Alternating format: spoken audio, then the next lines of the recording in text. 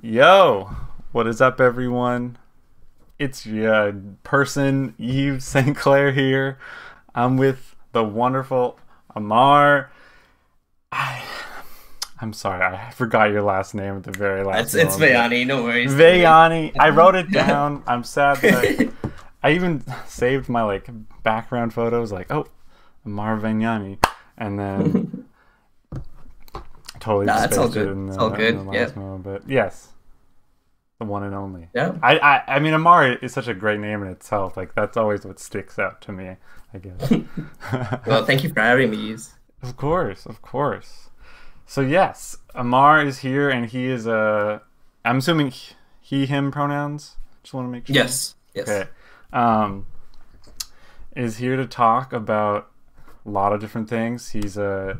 Would you call yourself a concert producer, or like a someone who makes like bands Uh, come together and play shows, or Yeah, you could say that, like a an organizer slash booker slash uh scene figurehead, I guess. Like Mm. someone who's active in the scene, I guess. Like a in Houston Davis, community member. Yeah, something like Yeah. along those lines.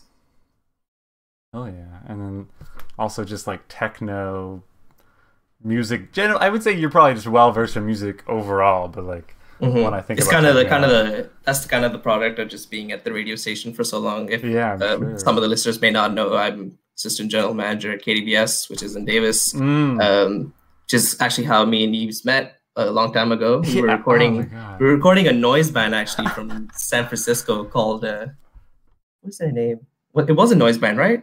Yeah, no, no, no, definitely. Um, It's such a collision stories, collusion stories. Yeah, San Yeah, Francisco yeah, noise yeah. band. There it is. that interview was so funny.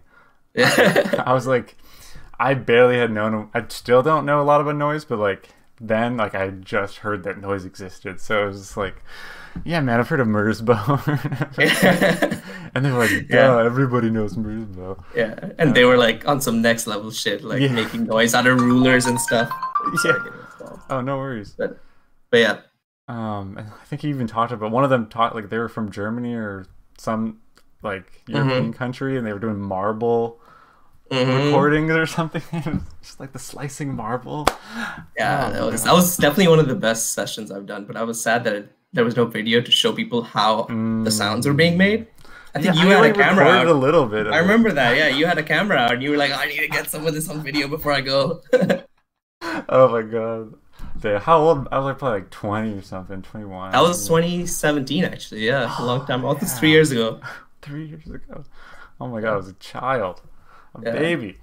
Crazy to think. Um, dang, I, yeah, those are those are good times back in the studio. Just those random. Uh, you invited me to come on the your one of your shows, and I always wished I Mhm. had, but Yeah, like, it yeah, just yeah. never happened because life gets busy. But dang, Yeah, for sure.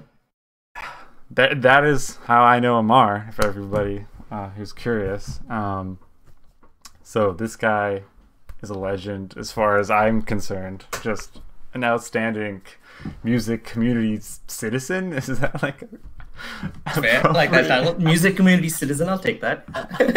a citizen? I don't know. Um, but yeah, uh, so talk to me. Like, what what is going on right now with music and techno specifically? Like, are you noticing any major shifts in the scene?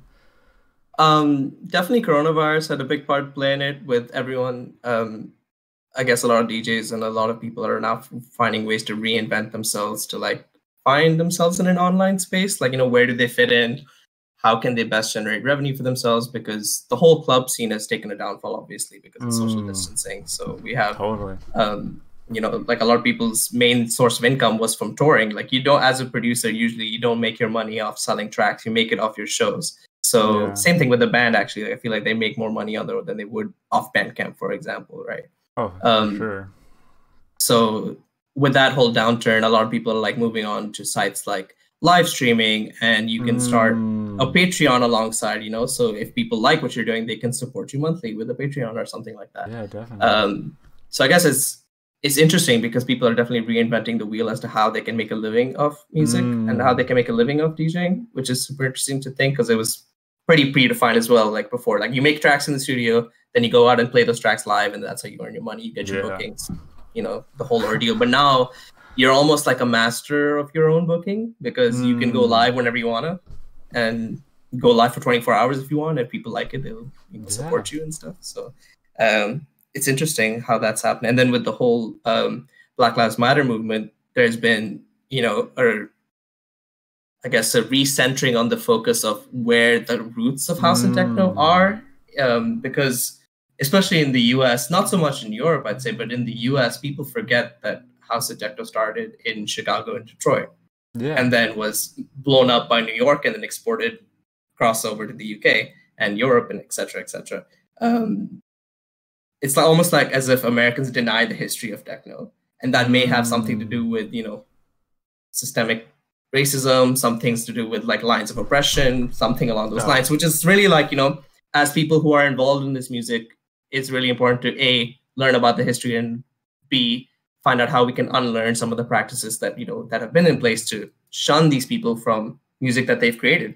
Mm-hmm. So Absolutely. I think that that's kind of like what the movement is is kind of doing right now. It's like, you know, kind of recentering, think taking time to mm. like think and like, you know, reestablish ways that they can support underground black folk um, black LG, lgbtqia plus folk you know everyone who's been marginalized by this system that kind of only upholds like white europeans as like the the face of techno or in the us you know white americans as the face of techno with those big festivals like edc and all that mm. like money making like organizations and stuff uh, which I could go on, I could go on about for days about that stuff. But yeah, I, I mean, real quick on the debate, I'm assuming you're you're anti the term EDC, like you're not a fan uh, of terminology. So yeah, like I guess EDC is is short for Electric Daisy Carnival, which is the big festival that kind of mm. promotes EDM as the initialism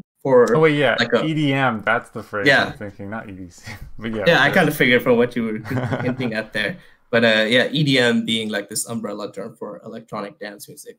Um, as as a term in itself, it's just something that journalists and media writers like to give music. For example, when I was growing up, my brother would listen to electronic music. He used to go to raves in the UK and stuff, and he would call it club music. Mm. So it was just called club music. And before that, in the 90s, it was called dance music or it was called techno. Techno as a broad generalized term for everything.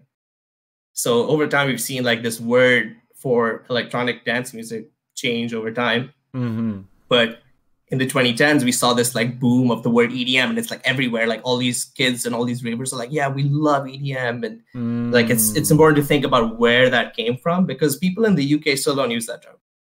People in Europe sure, don't yeah. use that term, and they will usually just say electronic music, or they'll specifically talk about what genre they like.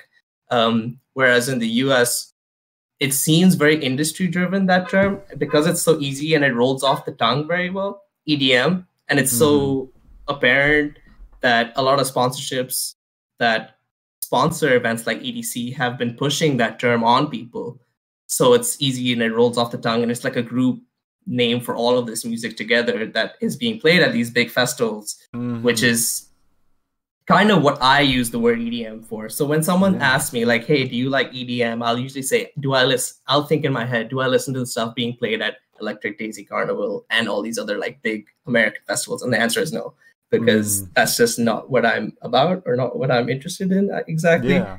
Um, the whole carnival scene is like kind of predicated on the fact that it's a money making organization for making money off kids for example like mm. if you if you go to one of these these shows, you're given free monster energy rather than free water. So like that's just like the biggest form of like you know commercialization of the whole scene. Like you know like Monster is sponsoring this event, giving people free energy drinks, and that mm-hmm. just shows like how much like industry backing the movement has of EDM. And that's kind of why you see news feeds and your social media populated with this term EDM and it's actually been done by the American rave industry to rebrand the culture for kids to get into it because we saw a big boom in 2010. Like as soon as like mm-hmm. I think even in pop music, you saw like Lady Gaga, Katy Perry moving into like using using electronic music and themes mm-hmm. of that music, and that brought it back. Because in the 90s, you had Madonna who was ripping off black people making stuff like Vogue. Mm. So now we have Katy Perry and all these people making that popular again. With co- coinciding with that, we had the American rave industry being like, hey, we have an opportunity here. We had artists like David Guetta, Calvin Mm. Harris, all these guys who were super big in 2010. They made so much money off this music, off that term EDM, just because that's how Mhm. they got bookings, top EDM charts, top EDM this. But Mm. for me, it's like almost a disservice. I'm a, I'm a really big genre purist. I love reading about genres. I love understanding why a genre is what it is, and I think it's a real Mm. disservice to a genre to call it something it's not. I think we've even talked about random stuff like shoegaze versus dream pop in the past, right? And I remember having this conversation with you. yeah, you like- called me out. I was like, ah, shit. Yeah, and like, and I don't mean it in a pretentious way because I think, in a way, if you take a genre and call it something it's not, you're ignoring all the struggles that that genre and that community had to do to get where it is today. Not so much in the Mm. case of shoegaze because that's more like a, a, a like a a media term that they gave it to people who were staring at their feet. But for Mhm. example, grime versus rap, you know, the struggles of the two are very different and the way that they came to prominence are very different, for example. And I think understanding those differences helps solidify a genre's role in the grand scheme of music. Mm. And that's just my opinion, and you're free to disagree with me or like no, you know, no, some people fair. some people some people say stuff like you know like oh well genres are stupid and they don't mean anything and Mm. i can see where they're coming from because they think of music as like you know an art space and all that but i'm like you know that's not really how it works people use genre tags especially now on social media to find new music right like you go on spotify Yeah. you go on like this chart this chart or some someone makes a playlist saying house 101 or something and then you're more Mm. likely to check it out because you're looking for a specific sound Oh, if absolutely. if there was no genre, then how would you find the sounds you're looking for? It just seems kind of Exactly. counterintuitive for me.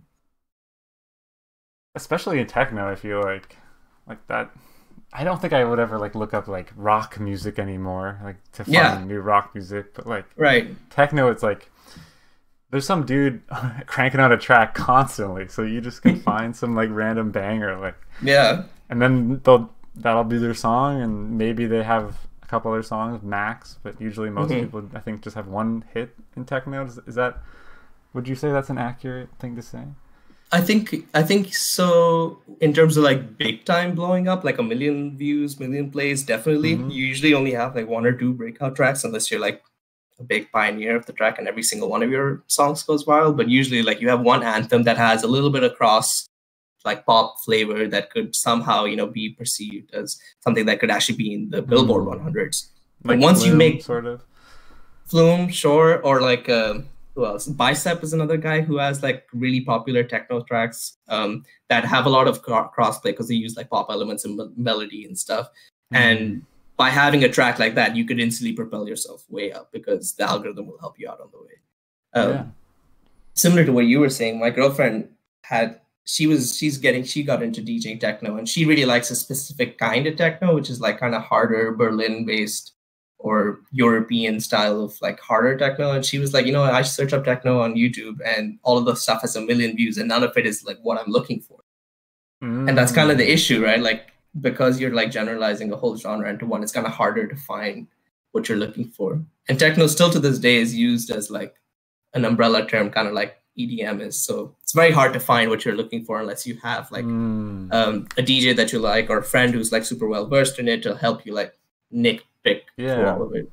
So Yeah, totally. Like I think it, the way it's worked for me is like I just like someone plays some band in front of me, and then I give it a chance, you know, Mhm. and then it's like okay, I'm I'm listening to this and I'm appreciating it, but hardly ever. do- Uh, well, I wouldn't say hardly ever, but like it's not common to find a really good Mhm. track just out of nowhere, you know. Mhm.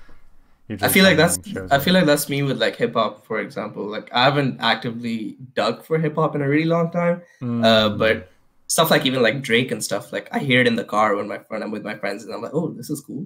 I like this. Like this is all right. Dang.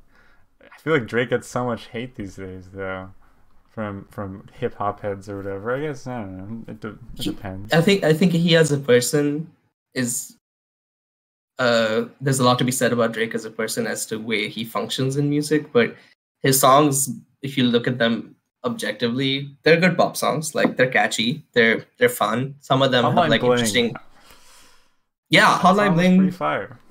I like Hotline Bling. I like Controlla a lot. all of the stuff that he made on that album was cool.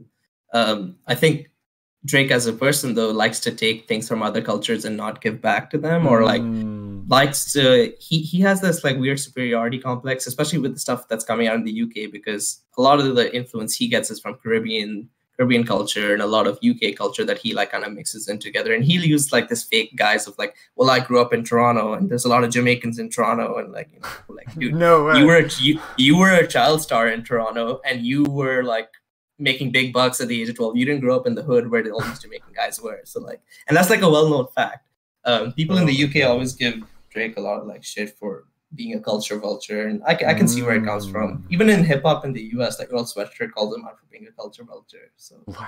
there's there's a lot of stuff that like exactly like like you're making money off another person's culture without like making you know doing anything for them hmm I guess that's my biggest gripe with Drake. But at the same time, I'm able to appreciate when he can make a good pop song. The the classic like it's so good that you can get over the the bad parts about it, you know. I mean, dude, in, in my feelings, you know that Kiki song Vaguely? What, yeah, by go? Drake? Kiki, do you love me? Oh yeah, yeah, yeah. That's Drake? Banger, dude. Like that's such a banger. I heard that in a in, in a car. I didn't even know it was Drake. I was like, dude, this song is sick. Like it's catchy. It has everything I like about it. I don't know. It's fair. Uh, no, I mean I I'm in the same boat, I would say. Yeah. I'll, I'll very rarely, but I will occasionally listen to Drake. Yeah. you know, on a whim. Uh, but anywho, uh, you know, I did have a, a weird comment about when we were talking about EDM. Do you Mhm. think EDM has anything to do with MDMA, or like, do they sound similar on purpose? Potentially. Potentially. I haven't really thought. I've never heard that that thought before. So it's an interesting one. Um, I don't know. I I, that I literally just thought that when we were talking about it, it just came to my head. It's like, is that some sort of weird like, you know, people just uh, obviously like when you're talking about that era that you were talking about, that's a very like MDMA heavy scene. You know, like people Mhm. are not maybe there for the music; they're there to be having an insane serotonin high.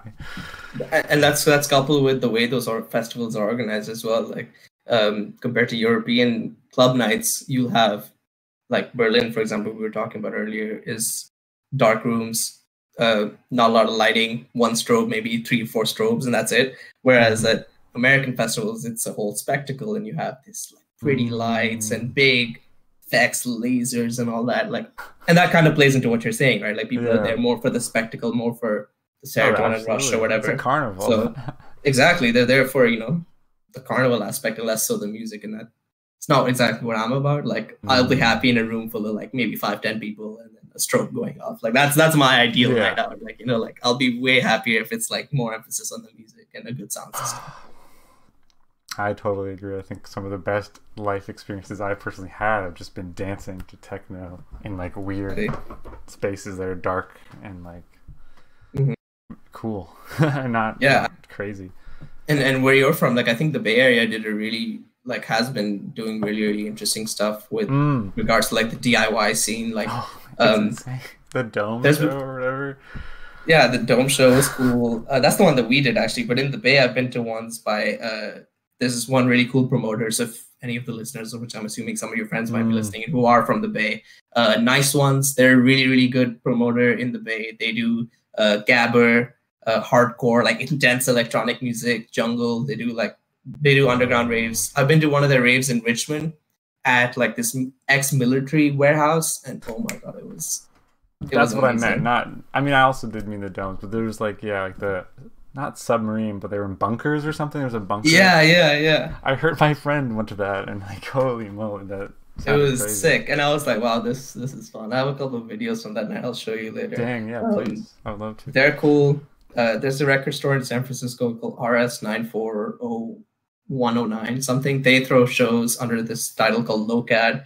Um, they throw shows within their store, and it's a cool record store as well. Like they have a really good selection of house and techno. So if you're trying to buy records, like they're a really good resource for that.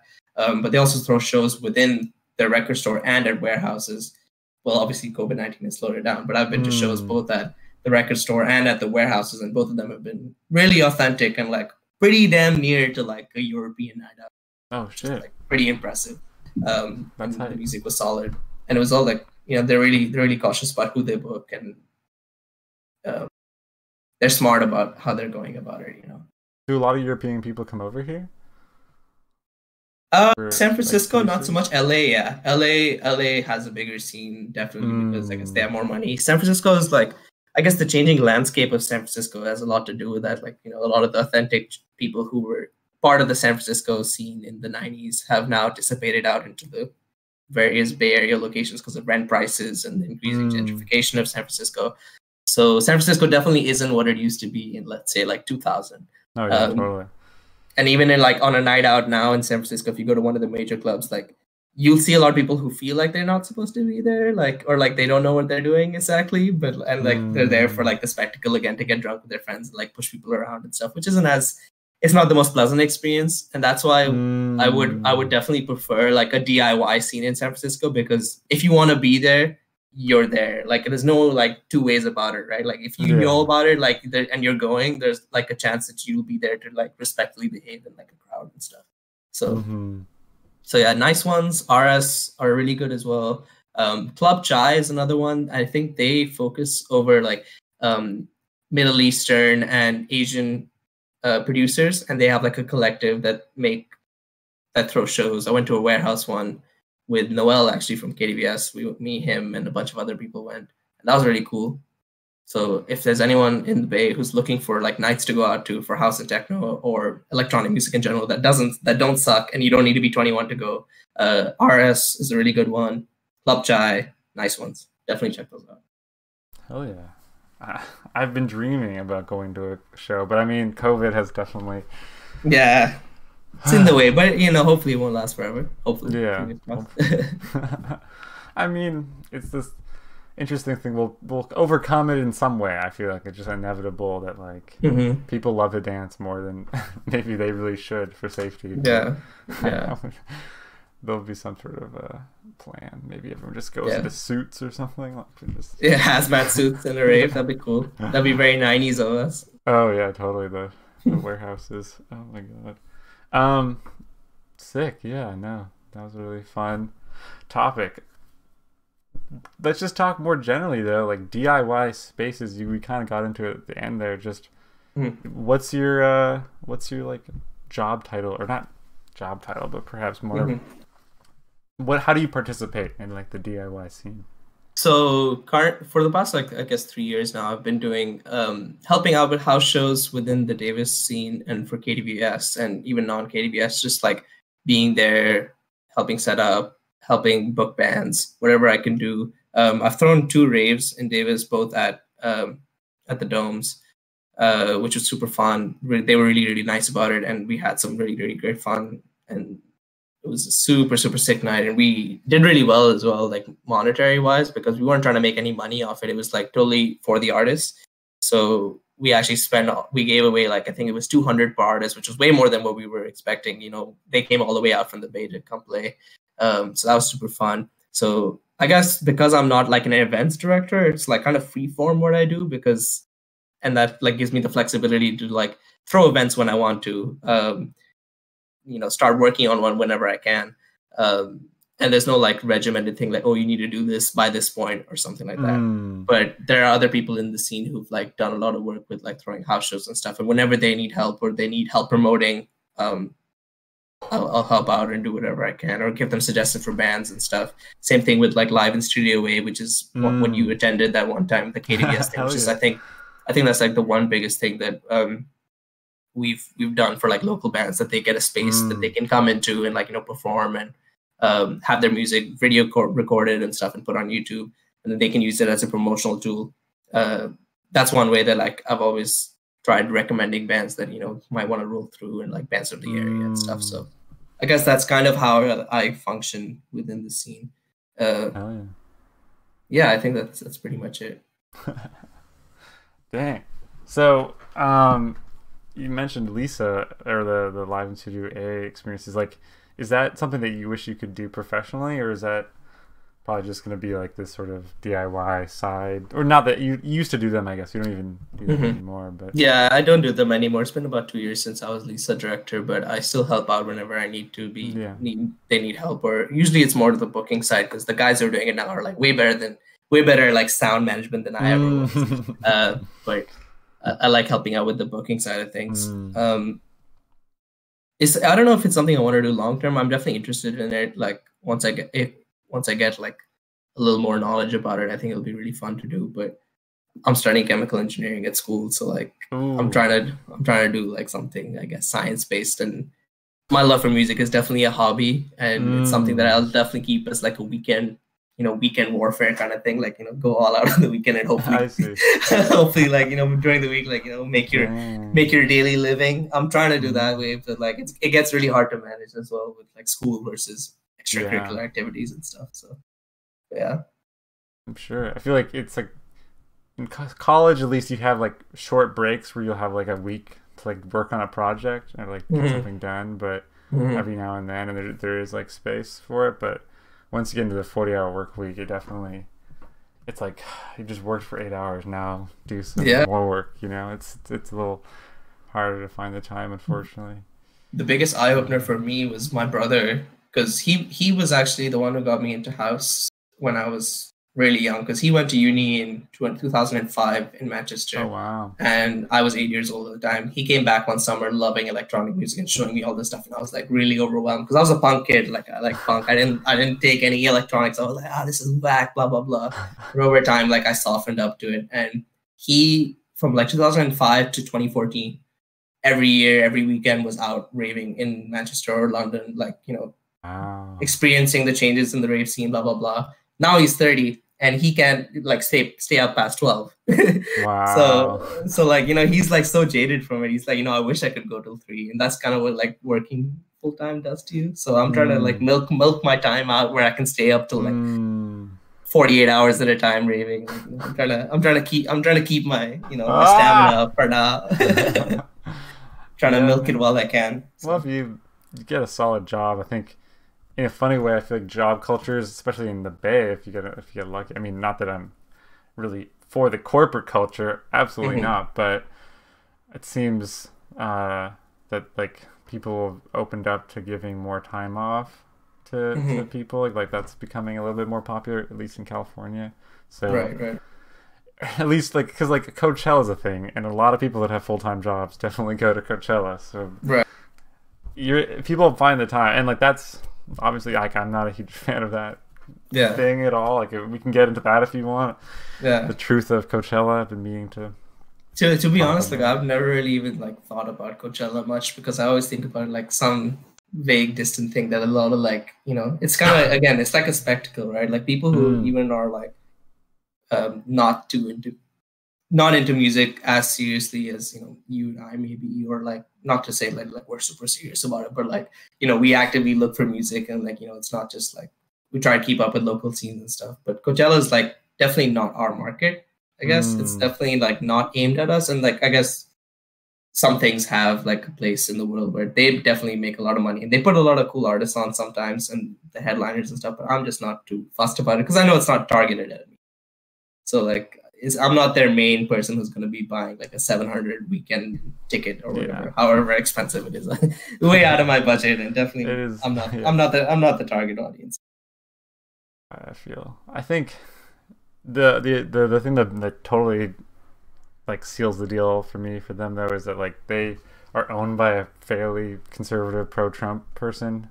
That I heard like, about kind that. Of exploiting, you know, the Yeah. at least the LGBT scene, I would say, Mhm.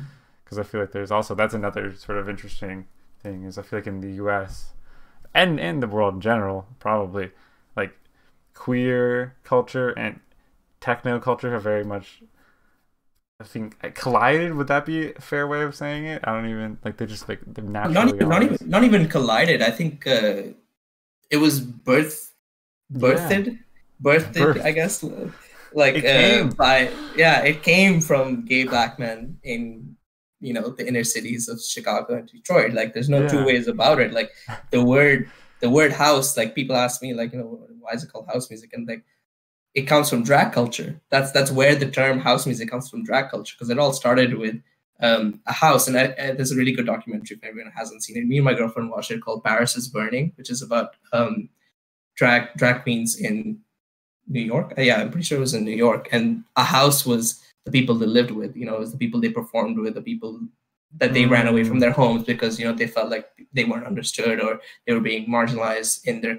community. So they ran away and they lived in their houses with you know other people with similar mindsets and from the same community. And that's where that house came from. And wow. there were multiple houses, and they would mm. come and you know have drag queen drag queen shows, and they would have like um, drag battles where they have Vogue battles against each other. And that's kind of where the term house music came from because the music that was being played at those shows was kind of like sped up disco with a with a kick drum behind it. Mm. Right. and that's that's kind of like and people don't really people don't even remember that this happened in New York and in Chicago and people just like completely forget about that that that ever happened. Mm. And then techno is Detroit's take on it, which is where they took that element and incorporate like the steel city vibes of you know detroit which is like it's a cold hard place to be you know? Detroit is like pretty cool it's mechanical. There's a lot of in- industry there. And that influence definitely is heard in the techno music that was came that came out in detroit.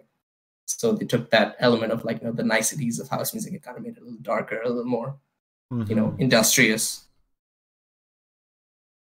Uh, yeah you totally remind i've also watched a documentary of on house and like it seems like house music was definitely like a, a place for for black you know gay people queer people and just like you know like queer people as well in general it was a very much a mm-hmm. diverse crowd still but um consistently would you know kind of get shut down by racists throughout the 20th century mm-hmm. know, like all these like, clubs would go for like five ten years and then the cops would show up and like end it or whatever you know like mm-hmm. stonewall riots etc but yeah, co- co-ops, increasing rent prices, uh, you know, lack oh, of yeah. DIY spaces. A lot of these things are just like it's like a multivariate decline in like the popularity of the genre, or like the true genre, I guess, or like the roots mm. of the genre.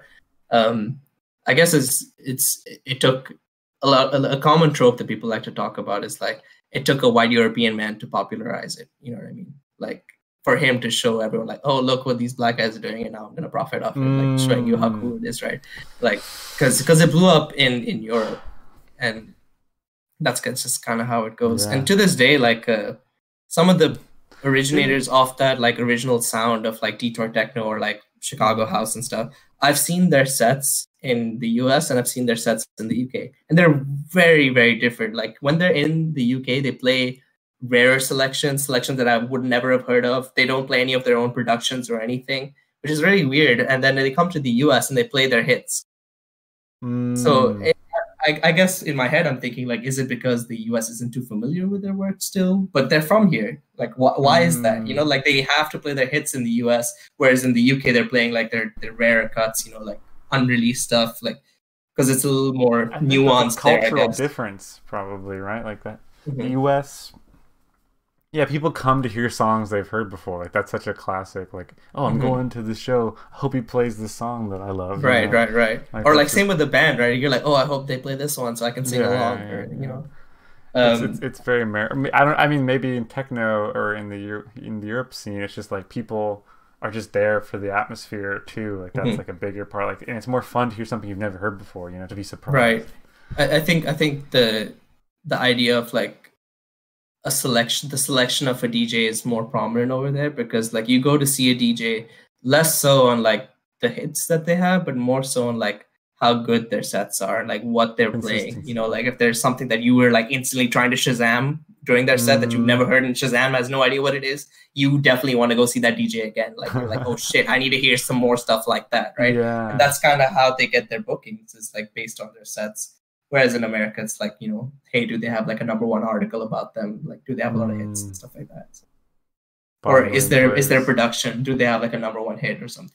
Yeah, that's so interesting. Man, just shows how like it's like weird because I was gonna say like I feel like Europe has been copying black people in music forever, like the Beatles, mm-hmm. you know. Mm-hmm. And there's just so many kind of iterations where that happened throughout our history. Right. But uh, it, it, the scene Europe is just like they're I guess more socialist. Even in and so it, it leaks into the music in a way. Whereas like here it's still so cold-hearted capitalist. Like it's all about being number one and having the most plays and having the most Right. money and like playing Madison Square Garden. You know, like right, right, like we're all aware of all that ridiculousness. Like Yeah. It, yeah, it's just the, the polarization of you know capitalization and it, capital, capitalism in the U.S. is so like you can't run away from it. You know what I mean? Uh, you can you can in the UK either, but or in Europe either, but there's still like ways that people there's a lot of there's a lot of more like welfare state or oriented things in the Hmm. UK that may give you a little more freedom to work around. And don't get me wrong, the UK still has a lot of problems with that type of stuff as well. But absolutely. I would say they're still doing slightly better than the US is. Isn't that amazing? dude? Yeah. Only slightly better. These are like yeah, the, slightly better because the there's, there's most like free whole, countries or whatever.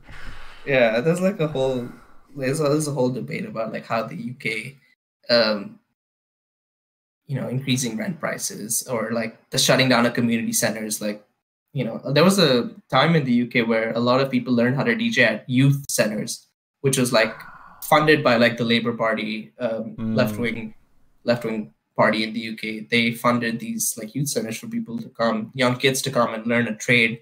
So it could be like you know sewing or emceeing or djing or anything like any, anything that they want to do. Like those youth centers were really prominent in the mid 2000s and then they all got shut down because of fund like lack of funds and conservatives took over and they you know Mm, it's kind of like a cycle in the uk where conservatives come and cut funds labor party comes and you know puts the funds back in. It's like a Yeah. continuous Oh cycle it's been happening for a while so That is but so right now like we've had a we've had a string of like conservatives for quite a while and you've noticed a lot of youth centers being shut down. So that's like one thing that's ah, kind of similar so i guess in us and uk Yeah. Didn't like shoegaze come out of like youth centers? Like I'm pretty sure that's how like most of that scene met each other. We're just like likely i guess. Yeah probably like diy spaces or youth centers. I'm, I'm not sure but I- I probably. if My Bloody Valentine. I watched like a documentary about them. I Mhm. think they met in a youth center. So wow there you go. But yeah, yeah, you oh don't God. you don't really hear stories like that anymore like someone meeting at a youth center like I had to Mhm. research what a youth center was. like, I had no idea what it was. So Yeah, that, that does not exist in the North American states. you, I guess you have YMCA's, but like, I've never been to a YMCA. I feel like that's I- I've I've actually heard some interesting stuff that YMCA has like skating parks. They have like skate parks and stuff. whoa. Oh, maybe I was not a, in. San Diego. One of my housemates actually was telling me that the YMCA is like a skate park. I was like, young male Christian authority authorizes authorizes skating. That's cool, I guess. Dang. I mean, that, that's just them adapting to the scene, right? Like they just want to be relevant, like yeah, I guess. because Yeah. that's SoCal, man. They have so many kids on skateboards. It's insane. Mhm. I'm gonna actually be down there uh, next month, so I'll be we'll see. Maybe I'll hit, I'll hit the the YMCA skate Yeah. place in San Might as well. I mean, you've been getting into skating, right? I've seen your Yeah, ollies, yeah, dude. yeah. Yeah, you're getting, you're getting there. It, are you? Have you done much skating yourself? Uh, I used, yeah, I used to skate a lot freshman year, but I was never very good at it. Like I could do an Mm. ollie, and that's about it.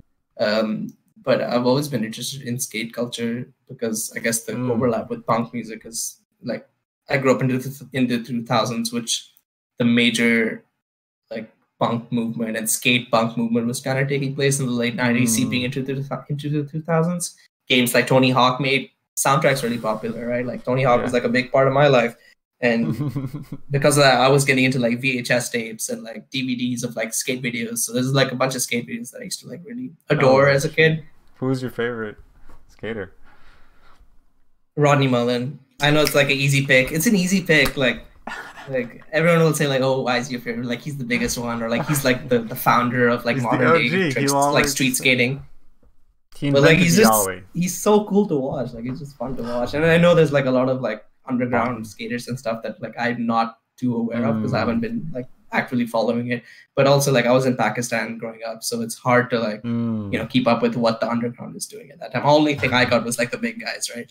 mm. The ones who were like on the st- on the, the big stages and stuff. Yeah, yeah, yeah. like Ty, is it Tyja or something, like that? Like Nyjah Tyja Huston. Nyjah Huston. Yeah, yeah, yeah. He's from Davis actually, or Woodland or something. Oh wow, huh? Yeah, he was in Davis like I think last year doing another like skating thing or something. Because Davis is like quite notorious for its skate spots. There's a really famous spot I think on Rock Hall or Boehner Hall or one of the halls that is like one of the really famous skate spots. So, oh word.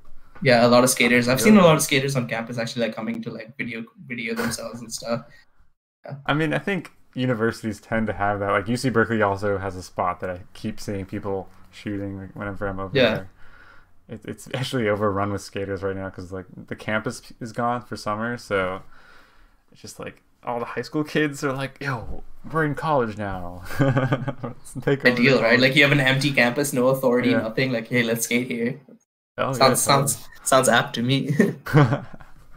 well, we're doing pretty well. We're at like forty minutes. Is there any major things you wanted to talk about, uh, or mm. talk to me, Ammaar? Yeah. Major things uh uh shout outs i guess. Shout outs that i wanted to give out. Um mm. shout out to cozy in sac. She's a producer who makes like a grime garage somewhat in between 140 music. She makes really really cool stuff. Uh tooth in sac he's a producer and a dj like really really cool.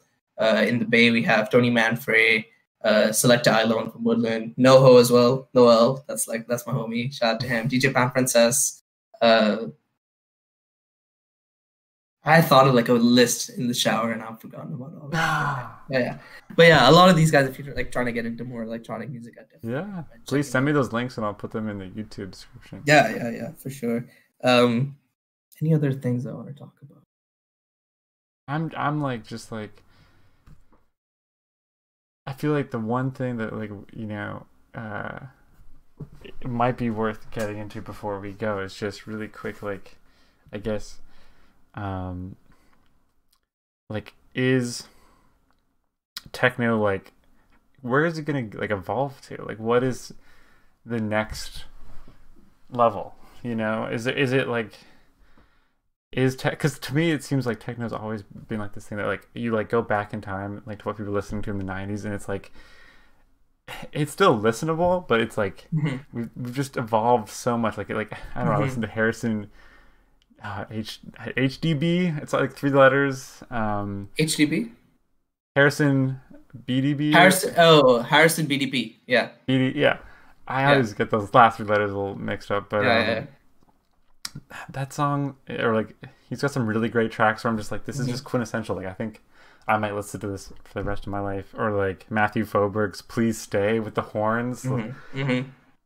He just just keeps tapping them, and it's like, yeah, yeah and those seem like such like crazy peaks for me in terms of like what it can mm-hmm. be done with like music mm-hmm. like it's just like panning and all the different tones and ah man it's just like I, th- I think it's important to like realize like how far we've come because if you listen to like a lot of the older tracks from like 93 94 you can like hear the improvement in in production quality just because you know digital digital media is much more accessible now and anyone can make a track nowadays on a laptop uh, it's more accessible to get used gear and stuff like that. Uh, whereas in the 90s, it was all analog. Like you had to like do everything like you know through a MIDI MIDI channel. You didn't have a computer workspace, and the computer was literally there to just like record the track or whatever. Yeah. Um, so like you can definitely hear the changes there. Uh, as to where techno is gonna go, I'm not really sure actually because there's so many like mini scenes across the techno stream. Like there's minimal techno, there's like you know the really aggressive Berlin techno, and like not not in Berlin, but like there's a really big scene in Poland right now, which is like really intense, really fast paced techno, which is what my girlfriend's into actually. And like she digs for it way more than I I do. So like that's how I got into it. And I've been like listening to a lot of the stuff that she recommends. Um Hell yeah. like there's so many like different like microcosms that are just like uprooting.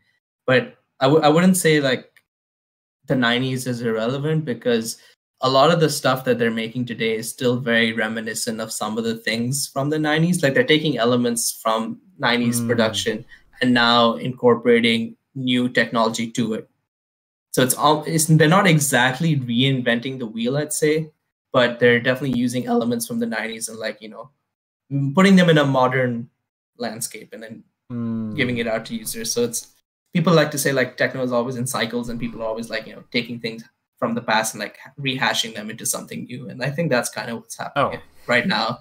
Isn't Um, sampling like that just forever? Like we're just Exactly. Like, oh, but shit. like the only only difference is now that the techno guys are sampling like jazz, soul, funk, you know, breaks. They were they were sampling that stuff, and now we're sampling them or we're taking ideas from them. So it's like a a second hand almost, like you know, it's a Mm. second hand interpretation of ideas because you're not purveyors of the sound anymore. You're like you know biting, not even like kind of biting off their sound, I guess. If you or like you know trying to reimagine their sound, I guess. Mm.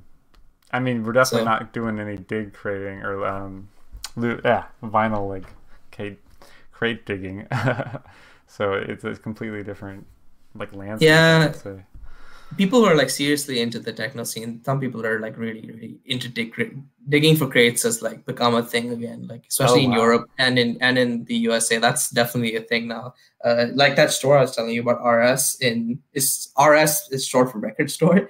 That's that's and that's in san francisco. Like that place is like really good cheap cheap records that are like one dollar bin records. And those are actually what a lot of the big djs in the underground scene make their money off. Like they take a cheap record from the dollar bin play it out to a crowd and the crowd's like oh my god this is amazing. We must have it. And that just instantly shoots up the price of this one dollar record that is now worth $300 on on ebay.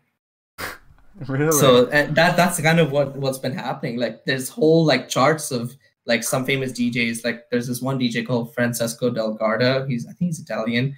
Um he's just a dj he doesn't produce he, he's simply known for djing and simply known for selection because he is a crate digger and like he digs for records and this guy's hand is like he has uh, the Midas hand okay like he anything he touches turns to gold okay anything he buys or anything he plays is worth like a dollar. He plays it, and someone in the comments be like, "FDG played this," and the price just skyrockets for this vinyl because it's from the '90s, or it's like like 300 percent increases. It's crazy. yeah. Like this is a Discogs racket or some shit. This is this is all about Discogs. Like Discogs has like lists of what big DJs are playing, and that's kind of like how a lot of older records are being brought to attention. And Wow. some of it is actually a lot of US stuff because US stuff is like there was such a lot of records being produced in the 90s and half of them are sitting in dollar bins in the US Mm. and the ones that did make it over to the UK were in dollar bins but people bought them big DJ played them price skyrocketed and now the US people who have it lying around in their basement they're like well I had this record for 20 years I didn't make any money off it I'm going to sell it now for $300 in the US you know so I guess cultures change. Like some some tunes weren't considered big tunes in the 90s, but now people who never got to experience an abundance of that style Mm. are now listening to that song. Be like, this song is crazy, you know. that Um, is so crazy. Oh my god, yeah, wow. Bringing so it all back. exactly, and that's kind of like what I'm trying to do with my. I'm been working on my vinyl collection. I don't have a turntable right now, but eventually I'm gonna Mm. buy, get a set of turntables, and because I'm I'm I'm essentially a DJ. I don't produce, so Mhm. the only way to like I guess make your name solely off DJing is by having rare cuts that no one's heard of, and the only way to do that is to go to the dollar bins because if you're going through like the Mm. rare stuff that's like three hundred dollars, someone's already played it. You know that's why it's three hundred dollars. So Dang.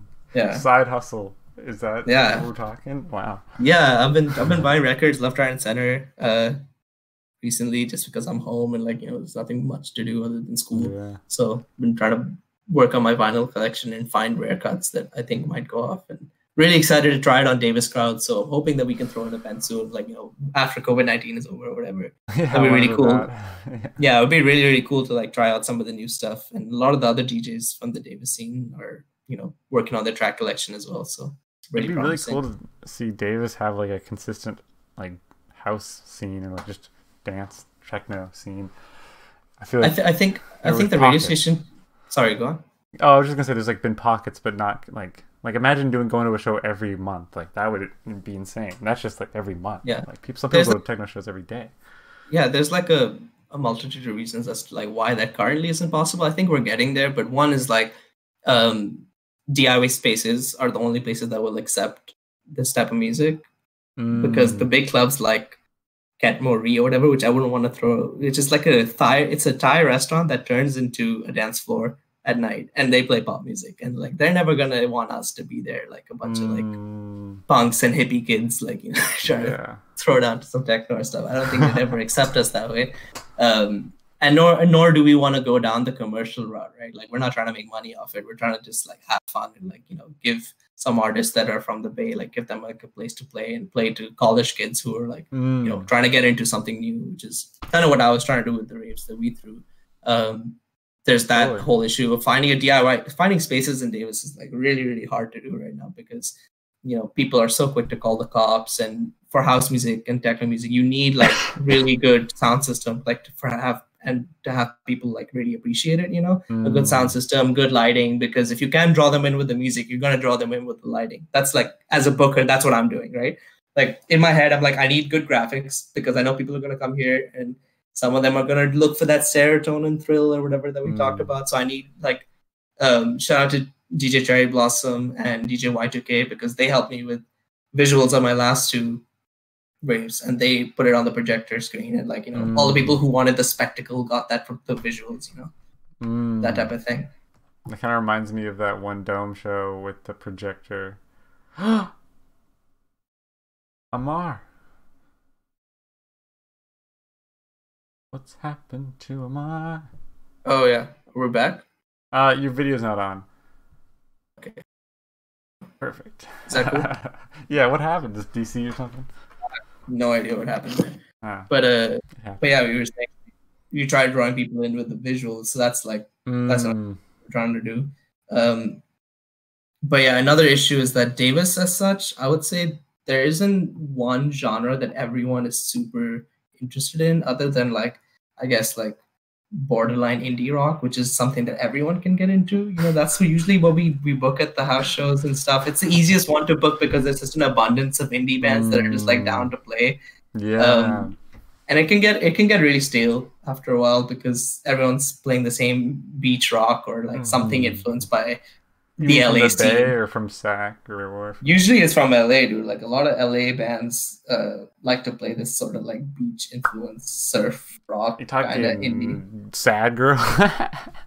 Yeah, sad girl or like yeah, sad sad girl, the growlers Ask Uh, What else Mm. is there? Like um, the OC's influence, stuff like that. Mm. Like you know, like Burger Records, that whole scene. There's a lot of bands that like kind of like Burger develop their Records comes up every episode, man. I mean, like that. They're so big in the indie scene. Like they're everyone's so influenced by that sound, and especially the LA scene that they export Mm. it up to the Bay, and people love it and they eat it up. But people in LA are kind of sick of it as well because it's so like you know it's abundant Mm. there. It's kind of like we were talking about techno, right? Like it's not abundant. The '90s sound wasn't abundant. You know, same thing. yeah. So I guess that's like a, a contentions point that there isn't as such a scene for any genre in Davis. So to make people consistently, you know, appreciate the house nights that we threw, people love the. The, the reviews were great. Everyone was like super stoked about it. But in order to like consistently throw on, you need to like, you know, draw them in each time. And that takes like, you know, smart event planning, DIY space availability, which is like really hard to come by. Um, and I'm not. I'm still like trying to figure out how to tackle it the best and how to put on the best spectacle for people. So The best spectacle. yeah, like because like the for me, it's like you know, I- experience. Yeah, the best experience, something for everyone, right? Like the people who are here Mm. for the music will come for the music, and the people who are there for the spectacle will come for the spectacle. You know, I'm trying to get the best of both worlds. the community can come together from all sides. It, that is Right. such a. that's like what you have to do in America because I mean, there's just so many. Like I remember any Davis show, I feel like there's like the crowd that actually watches the bands, and then there's the crowd that just smokes cigarettes and socializes.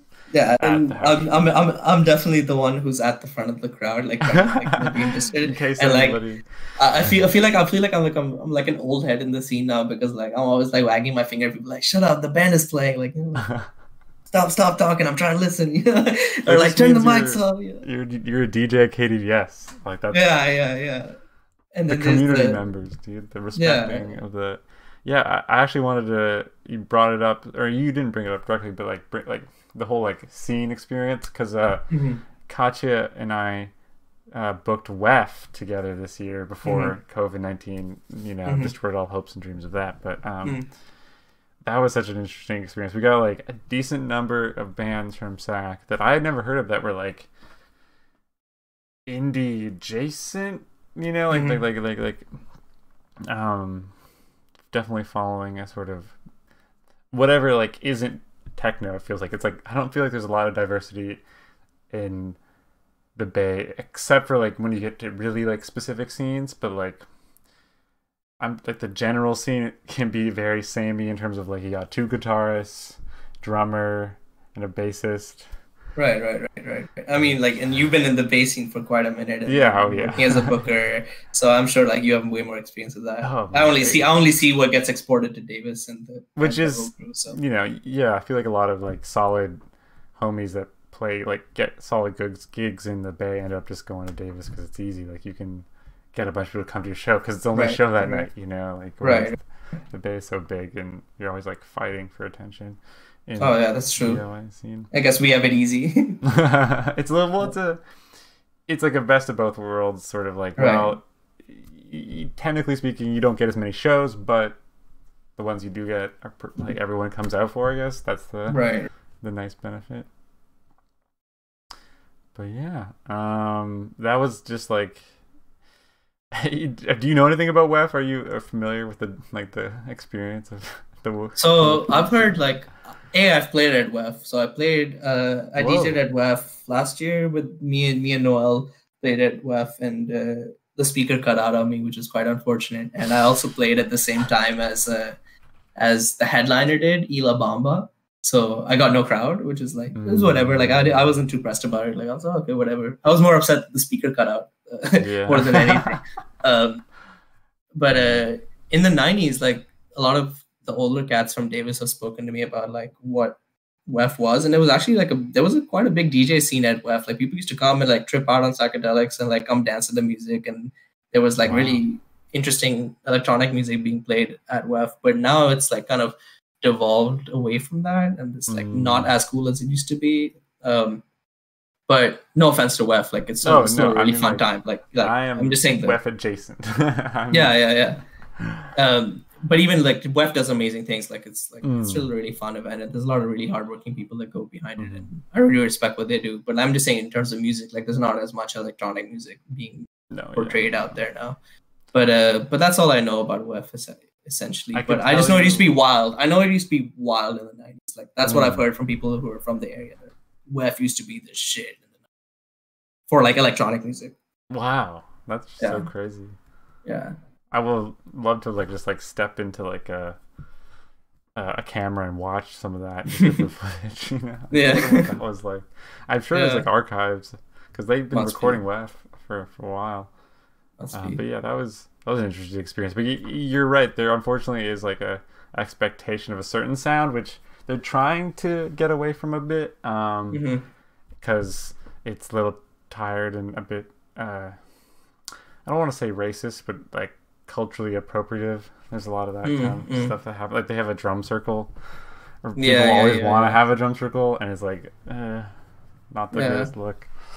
I, I guess that's like that's it's kind of hard when you're throwing a big a full blown festival like that because you're as the booker you're in caught in between a, a rock and a hard place because a you want to put on something cool experimental that will you know turn a lot of kids on to like something cool something diverse at the same time you want to make a net profit or a net at least break even point right when you're throwing a festival and that's Well, they don't where the- actually. It's all free.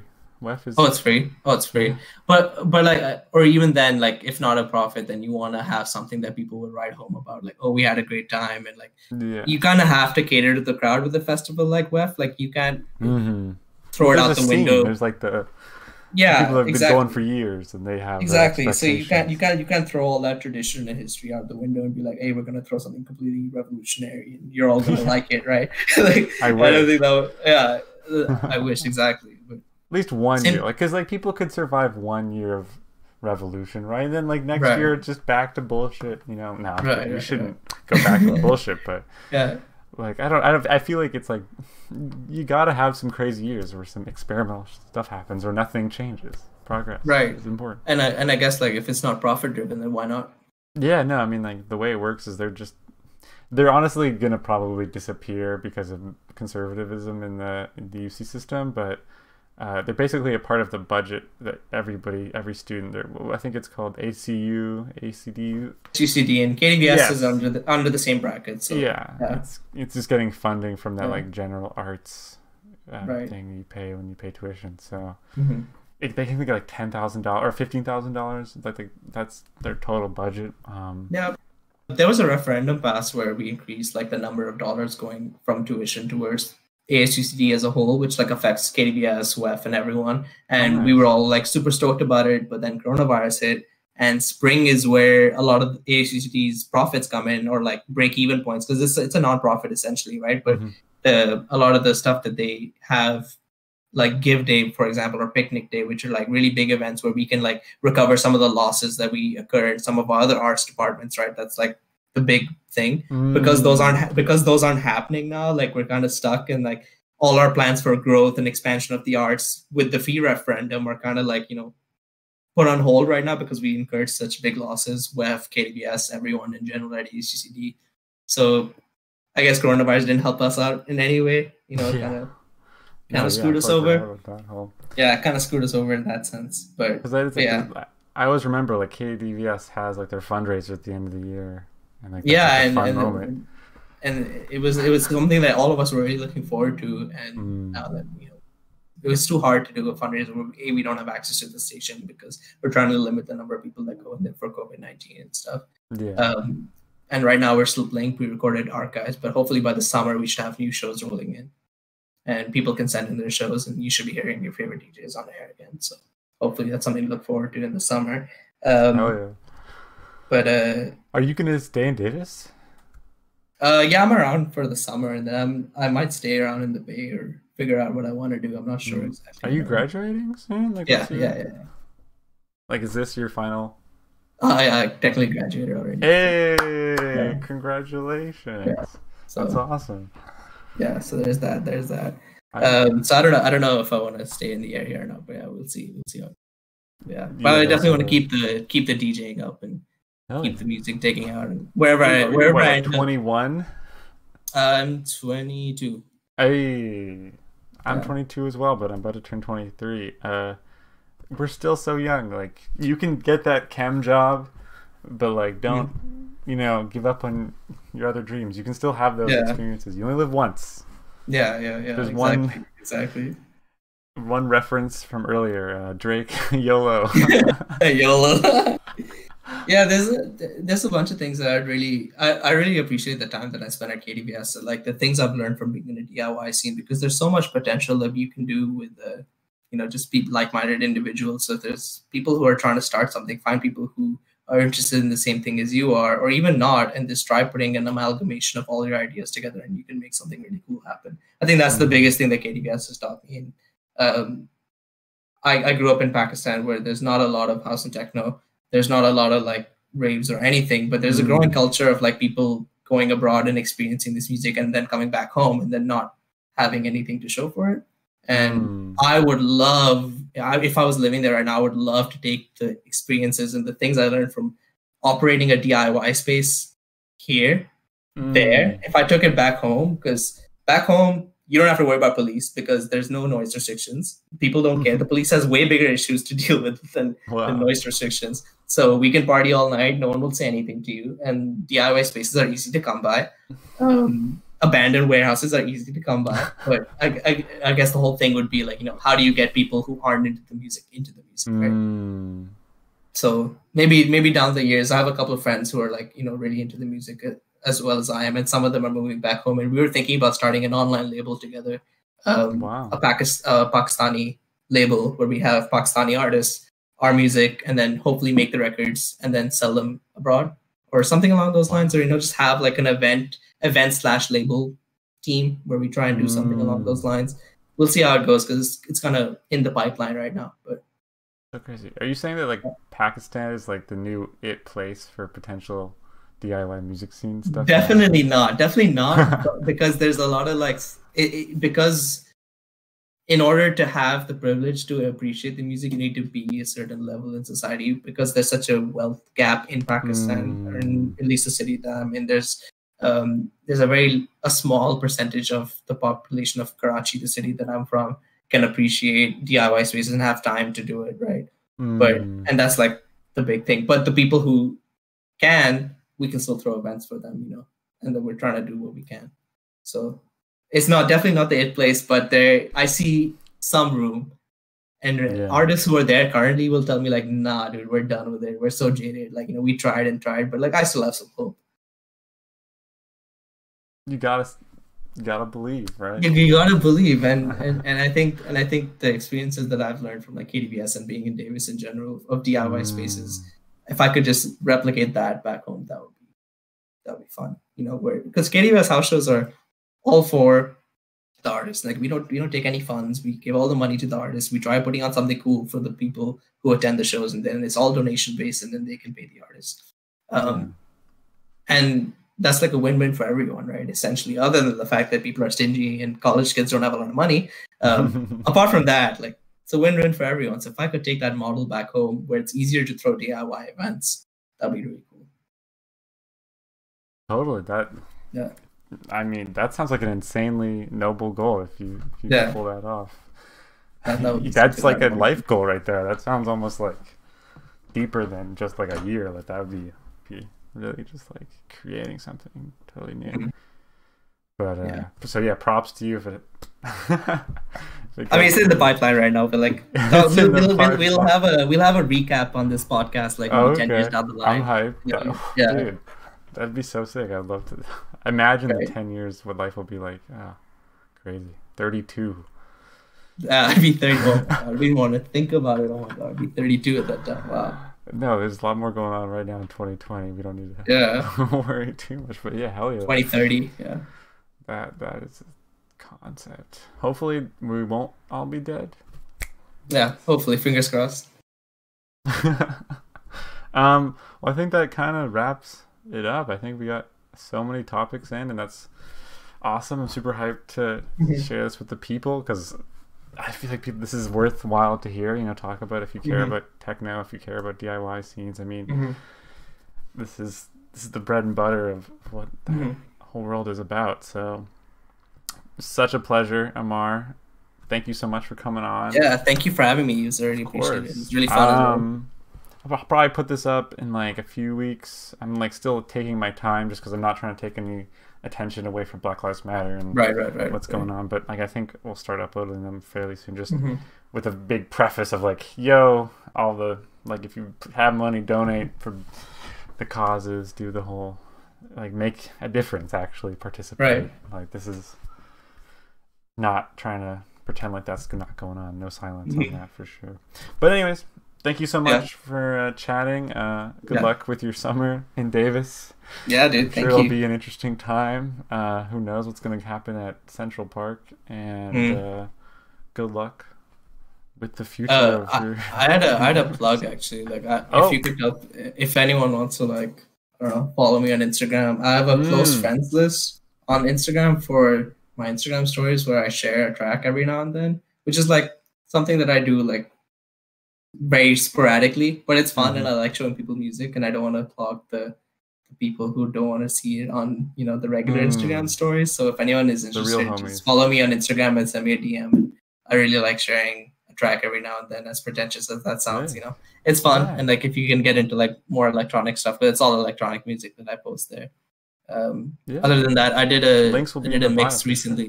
Yeah, and recently I did a mix for KDVS, uh, which is on my SoundCloud now, which is just um, Ammaar Vayani on SoundCloud, and you find, find me Hey, there. I'll check it out. I'm gonna Um, give it a listen. and, right and that was this. that was done pri- primarily with black artists in it for the Black Lives Matter movement. And in the comments, there's a, a spreadsheet and a document with Mm, all the resources and how you can help out and all of that stuff. So you know, definitely check that out and check out the music as well because it's all Link will be in the so- bio. There's gonna be like 20 links. Just it's it's you're not doing enough, Doc. okay? Even in the like it's like even in the DIY scene, it's Yeah. like there's so much pressure just to like pay attention. Yeah, yeah, yeah. It- Luckily, someone compiled everything into like one standard Google Doc, which has like a lot of like really, Mm. really important resources, which I linked Totally. things. So definitely check that out. Yeah, yeah, yeah. We're we're hoping for an abolished police by soon. TM. See, let's see. And uh, uh, we'll see what happens, I guess. Anyways, thank you all for listening. Have a wonderful rest of your day, Ammaar. And Thank you. goodbye. I'm still working on how to end these things. All right, take care, Um, man. Take care.